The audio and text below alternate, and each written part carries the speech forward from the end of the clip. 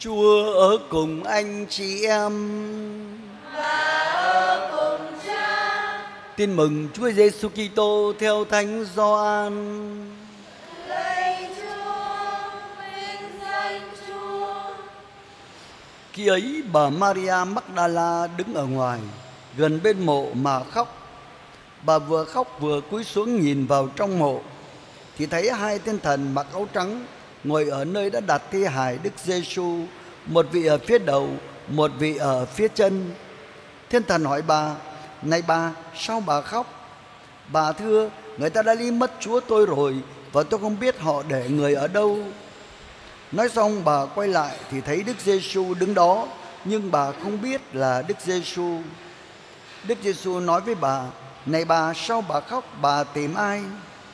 Bà Maria tưởng là người làm vườn liền nói, thưa ông, nếu ông đã đem người đi thì xin nói cho tôi biết ông để người ở đâu, tôi sẽ đến đem người về. Đức Giêsu gọi bà Maria. Bà quay lại và nói bằng tiếng Hebrew, Rabboni nghĩa là lạy thầy. Đức Giêsu bảo, thôi đừng giữ thầy lại, vì thầy chưa lên cùng Chúa Cha, nhưng hãy đi gặp anh em thầy và bảo họ, thầy lên cùng cha của thầy cũng là cha của anh em, linh cùng Thiên Chúa của thầy cũng là Thiên Chúa của anh em. Bà Maria Magdala đi báo tin cho các môn đệ, tôi đã thấy Chúa và bà kể lại những điều người đã nói với bà. Đó là lời Chúa.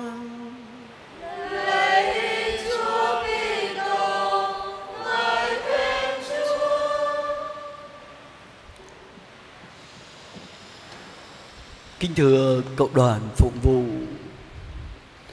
Nếu chúng ta chú ý một chút, Chúng ta sẽ thấy những lần Chúa Giêsu hiện ra với các tông đồ Cũng như các môn đệ của Chúa. Lần đầu tiên xem ra, Các tông đồ, các môn đệ không nhận ra Thầy mình đã sống lại. Và thế mừng hôm nay chúng ta thấy cái Chúa hiện ra với bà Maria Magdala. Bà nghĩ đây là người làm vườn, Chứ không nhận ra Thầy mình đã sống lại. Hai môn đệ trên đường đi em mau cũng vậy. Gặp gỡ Đức Kitô phục sinh, Đi với họ, nói chuyện với họ một quãng rất là lâu, Rất là xa. Thế nhưng mà cũng chỉ nghĩ Đây là một người khách bạo hành, tình của họ gặp gỡ Trên con đường đi Để chia sẻ với nhau một vài tâm tình. Thậm chí Chúa Giêsu hiện đến với các tông đồ Đang ở trong căn phòng đóng kín. Ban đầu công vẫn ngỡ là ma, Cho nên Chúa Giêsu phải chứng minh cho công biết Đây chính là thầy của mình Qua những dấu đinh ở trên thân thể của Ngài. Điều đó cho chúng ta thấy Chúa Giêsu phục sinh là Chúa Giêsu đi vào trong vinh quang của Thiên Chúa. Vì thế mà thân xác của Ngài có một sự biến đổi mà chỉ với niềm tin thì chúng ta mới có thể nhận ra Chúa Giêsu đã sống lại. Khác với những lần Chúa Giêsu làm phép lạ, như Chúa cho con gái ông chuỗi đường Zero chết được sống lại, hay là Chúa làm cho con trai bà quá thành Na-im đã chết được sống lại, hoặc là Chúa Giêsu làm cho Lazaro đã an táng trong mồ được 4 ngày cũng được sống lại. Thế nhưng mà những người đó chỉ gọi là hồi sinh, sống lại một thời gian rồi rồi cũng là phải chết. Ở đây chúng ta thấy Chúa Giêsu phục sinh là Ngài đi vào trong vinh quang của Thiên Chúa cho nên những cái định luật vật lý đó nó không còn có giá trị nữa. Cụ thể chúng ta thấy căn phòng các tông đồ đóng kín, Chúa Giêsu vẫn đến với các ông được. Và đồng thời Chúa Giêsu đang hiện đến đảm đạo với hai môn đệ trên đường em mau rất xa cách Jerusalem 60 dặm. Thế nhưng chỗ hiện ra với Phêrô với các tông đồ để khi các ông gặp gỡ nhau, trao đổi, chia sẻ với nhau thì biết là thầy mình đã sống lại cùng trong thời điểm đó. Điều đó cho chúng ta thấy Đức Kitô phục sinh, Ngài đi vào trong vinh quang của Thiên Chúa. Cho nên thân sắc của Ngài được biến đổi và tương lai tất cả chúng ta cũng sẽ được biến đổi giống như Chúa Giêsu như thế. Cho nên cần phải có một cái dấu chỉ và nhất là chỉ với niềm tin mà thôi. Bà tin mừng cho chúng ta thấy bà Maria Magdala đi vào trong mộ không thấy xác thể của mình. Cho nên khóc lóc, Chúa Giêsu hỏi là bà tìm gì? Và tưởng là người làm vườn, cho nên bà Maria nói chuyện. Nếu mà ông cất xác của thầy tôi ở đâu, chỉ có tôi thấy để tôi đem về. Ban đầu bà không có thấy, mặc dù có nói chuyện, có đối thoại đấy.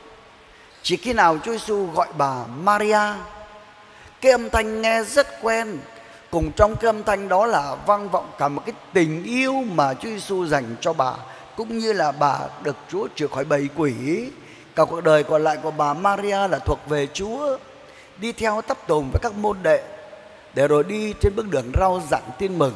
Cho nên nhiều lần bà Maria đã nghe thấy cái âm thanh Maria đấy, trong âm thanh đó chất chứa tình yêu và tình yêu đó bà đã cảm nhận được cho nên giờ đây, nhìn cái diện mạo bên ngoài bà không nhận ra thầy mình đã sống lại, nhưng mà trong cái âm thanh của chất chứa tình yêu đó, bà nhận ra thầy mình sống lại và vui mừng.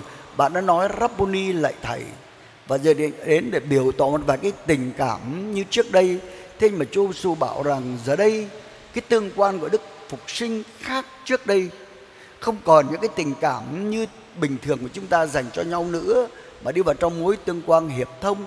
Đó là Chúa sẽ lên cùng Thiên Chúa Cha và đồng thời chúng ta sau này cũng sẽ được chia sẻ cái vinh quang phục sinh đó và cái tương quan của chúng ta với Chúa đó là tương quan của niềm tin và tương quan của đức ái. Chỉ khi nào chúng ta có tình yêu và chúng ta có sức mạnh của niềm tin thì chắc chắn chúng ta cũng sẽ gặp Chúa. Cũng giống như hai môn đệ trên đường em mau chúng ta thấy công chỉ gặp Chúa thật sự khi mà cùng vào với Chúa ở trong cái lữ quán rồi khi Chúa Giêsu làm lại cái cử chỉ cầm lấy bánh, dâng lời chúc tụng tạ ơn bẻ ra trao cho các ông, mắt các ông mới mở ra. Dĩ nhiên đây là cái mắt tinh thần, mắt tâm hồn. Để rồi nhận ra thầy mình đã sống lại. Cái cử chỉ thân quen, cử chỉ cái bài bánh đó là cử chỉ thương yêu. Cho nên các tông đồ, các môn đệ chỉ gặp được Chúa khi có cái cử chỉ tình yêu đó, niềm tin họ được sáng lên, họ nhận ra thầy mình đã sống lại. Vì thế kính thưa quý ông bà và anh chị em Hôm nay, cử hành tuần bát nhật mừng Chúa phục sinh. Chúng ta không chỉ thấy Chúa ở trong bức tượng Chúa phục sinh, Mà là chúng ta sẽ thấy Chúa ở trong thánh lễ này. Khi mà chúng ta lắng nghe lời của Chúa, Nếu Maria đang nghe tiếng Chúa gọi là Maria, Và bạn đã nhận ra cái tiếng gọi đó, tiếng gọi của tình yêu của Thầy mình dành cho mình, Thì hôm nay nếu chúng ta có lòng yêu mến Chúa, Mỗi lần dâng lễ, lắng nghe tiếng Chúa, Chúng ta cũng nhận ra là Đức Kitô phục sinh đang ở với chúng ta.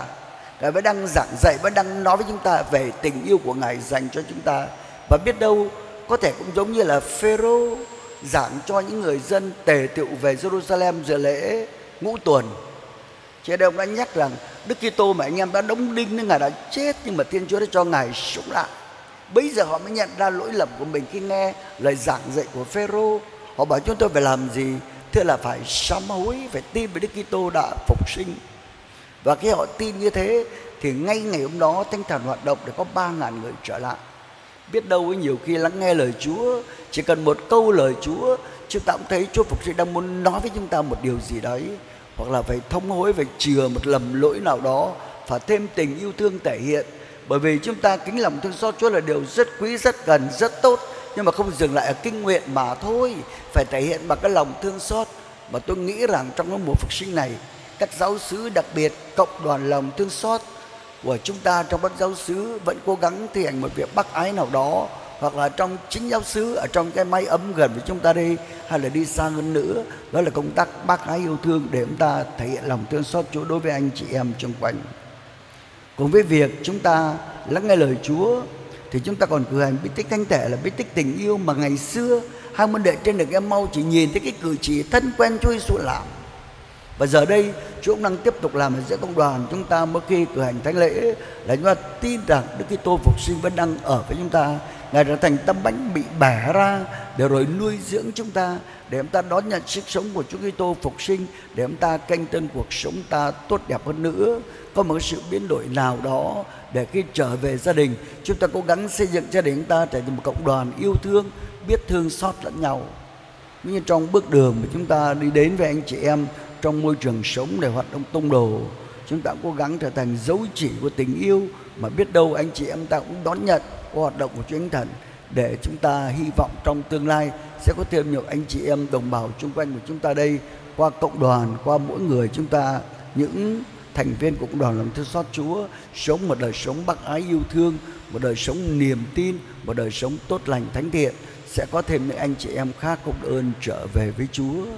Xin Đức Kitô phục sinh luôn luôn ở với chúng ta. Xin Thánh Thần tính của Chúa hoạt động nơi mỗi người chúng ta và xin cho hoạt động công tác bác ái truyền giáo của chúng ta được Chúa chúc lành để chúng ta cầu xin Chúa cho càng ngày càng có thêm nhiều người được ơn trở về với Chúa và gặp được lòng thương xót Chúa của giáo hạt, với nhục của các giáo sư ta, mỗi ngày thêm thăng tiến phát triển để chúng ta loan báo tin mừng yêu thương của Chúa cho anh chị em đồng bào chung quanh